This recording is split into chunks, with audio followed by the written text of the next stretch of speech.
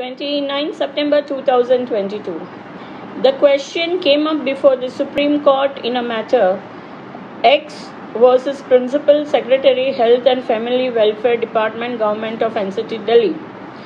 That whether the meaning of rape must be held to include marital rape for the purpose of medical termination of pregnancy act and rules the answer was given in positive and uh, court said that the wives who conceived out of forced sex by their husband will also come within the purview of survival of sexual assault or rape or incest. Mentioned in rule number 3b subrule a of medical termination of pregnancy rules.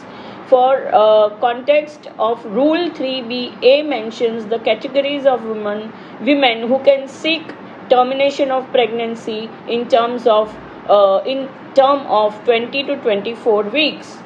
The court said married women may also uh, form the part of the class of survivors of sexual assault or rape. The ordinary meaning of word uh, rape is sexual intercourse with a person without consent or against their will so, regardless of such, whether forced intercourse occurs in the context of matrimony, a woman may become pregnant as a result of non-consensual subrule A of medical termination of pregnancy rules.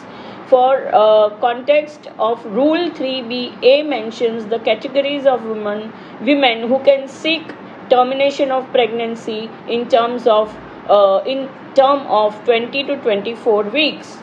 The court said married women may also uh, form the part of the class of survivors of sexual assault or rape.